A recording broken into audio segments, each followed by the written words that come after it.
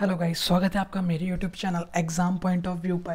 तो यार, मैं हूँ गर्वित और आज मैं आपको पढ़ाऊँगा वन कार्बन मेटाबॉलिज्म जो कि बहुत इंपॉर्टेंट है, बहुत बहुत बहुत ज़्यादा इन फाइव मार्क्स के अंदर आने के चांसेस बहुत ज़्यादा हैं इसकी।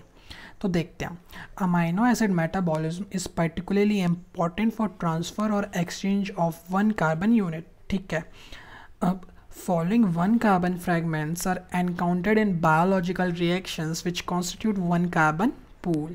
कोई दिक्कत नहीं। अब कौन कौन से वो ग्रुप्स हैं जिसको हम वन कार्बन मेटाबॉलिज्म में इंक्लूड करते हैं? तो methyl methenyl methylene hydroxy methyl formyl formimino and C O two C O two थोड़ा सा कॉन्ट्राडिक्ट है। Why because C O two को कुछ ऑथर जो है नहीं मानते हैं कि भाई ये वन कार्बन यूनिट है। ठीक है? तो most I don't consider C O two as one carbon unit okay then next tetrahydrofolate जो है आपका it is a coenzyme that actively participate in one carbon metabolism next methyl group transfer from five adenosyl methionine of vitamin B twelve ठीक है, जो कि involve है हमारी one carbon metabolism में.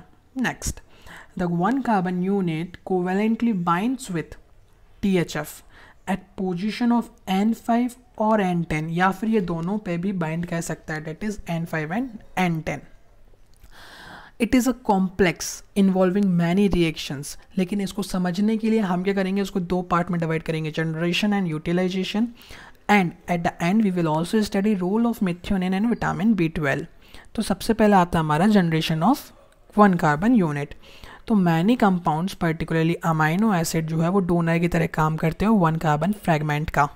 तो glycine and T H F glycine and tryptophan T H F से react करते हैं to form N ten formyl T H F वैसे ही हिस्टेडिन रिएक्ट करता है टी एच एफ़ से to form N five formimino T H F one serine converted to glycine हमने glycine metabolism में देखा है कि सैरिन जो है ग्लाइसिन में कन्वर्ट होता है N five N ten methylene T H F बनता है। Most predominant entry of one carbon units into one carbon pool अब जो कोलिन एंड बेटेन जो है, वो कंट्रीब्यूट करते हैं क्या बनाने में? N six methyl T H F अब जो ये रिएक्शंस हैं, ये इंटर कन्वर्टेबल है। और इनका सिग्निफिकेंस क्या है? कंटिन्यूटी जो है, चलती रहना चाहिए वन कार्बन पूल की। ऐसा नहीं होना चाहिए कि एक साइड पूरे रिएक्शन शिफ्ट हो गए तो वो वापस आ ही नहीं पा रहे हैं और वन कार्बन मेटाबॉलिज्म नहीं हो पा रहा है। अब आते हैं यार हमारा यूटिलाइजेशन यूटिलाइजेशन पार्ट बहुत ईजी है, बहुत बहुत बहुत ज़्यादा ईजी है। One carbon from T H F I use for the formation of various compounds compounds का क्या है वो? Glycine formyl methionine purine pyrimidine and nucleotide अब हमने लास्ट पॉइंट जो बोला था role of methionine and vitamin B twelve in one carbon metabolism तो methyl group is important one carbon unit methionine homocysteine में कन्वर्ट हो जाता है जब ये सी एच थ्री का बाहर फेंक देता है डोनेट कर देता है।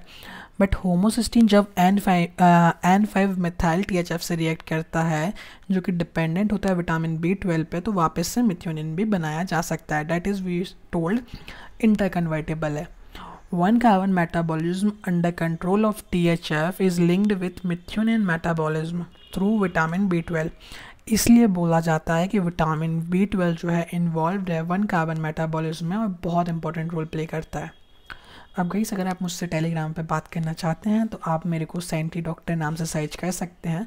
ऑल्सो हमारे सारे के सारे नोट्स जो हैं M B B S study group नाम से हमारा चैनल है, उसमें अवेलेबल है। So you can join even death so thank you for watching